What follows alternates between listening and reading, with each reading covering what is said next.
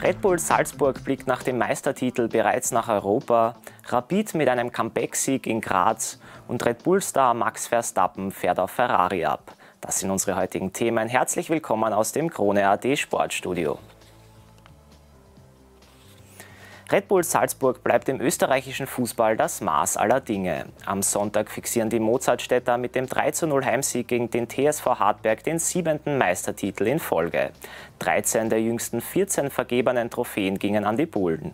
In den vergangenen sieben Saisonen wurde nur der Cupsieg 2018 verpasst.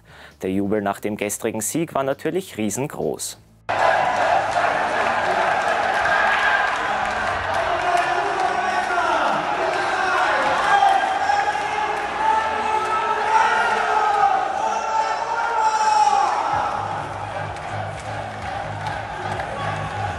Dem Anspruch nationaler Dominanz wurde Salzburg gerecht. Nun richtet sich der Blick wieder nach Europa.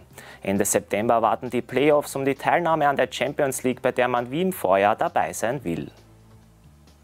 Rapid hat sich im Kampf um den Bundesliga-Vizemeistertitel zwei Runden vor Saisonende wieder in Pole Position gebracht. Nach dem historischen 2 zu 7 Heimdebakel gegen Salzburg kann man diesmal auf positive Art Geschichte schreiben. Erstmals seit 35 Jahren gewinnt Rapid nach einem Zwei-Tore-Rückstand noch. Nach einem 0 zu 2 zur Halbzeitpause gegen Sturm Graz gewinnt man am Ende noch mit 3 zu 2.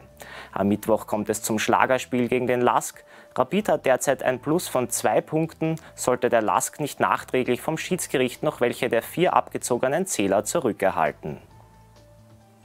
Die Linzer müssen sich am Sonntag dem WRC mit 0 zu 1 geschlagen geben.